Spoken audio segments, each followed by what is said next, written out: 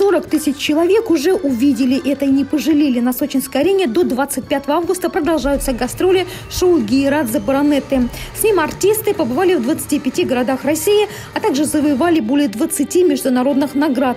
Для Сочи трехчасовое шоу дополнили новыми номерами. Первый – это «Журавли», обновленная версия воздушного полета из советского цирка. Второй – «Золотые рыбки». Манеж превращается в гигантский аквариум. Гимнастки попадают в сети и под куполом цирка выполняют головокружительные трюки номер готовил я специально для Сочи, потому что это морская тематика, это рыбки, это какие-то морские обитатели, это вода, это корабль. Шоу постоянно обновляется. В рамках сочинских гастролей подготовлено уже четыре новых номера и готовится к выпуску еще один с гимнастами на турниках.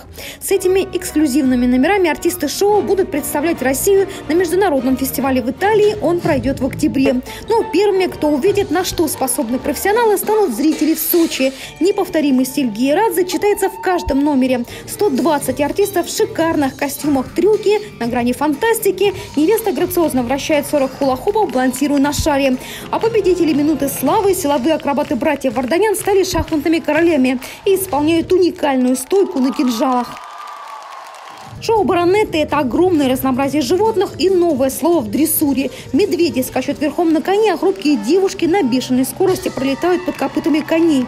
Уникальный аттракцион Людмилы Сурковой. Принцесса цирка подтверждает свое звание. Отважно входит в клетку с 11 хищниками. Для финала шоу мирового уровня специально записали песню в исполнении Филиппа Киркорова. У нее говорящее название «Аплодисменты». Овациями зал стоя провожал артистов после каждого представления. Шоу «Гейрадзе Баронетта» пробудет на гастролях в Сочи до 25 августа. Елена Овсецина, Алексей Давыдов, телекомпания «ФКТ».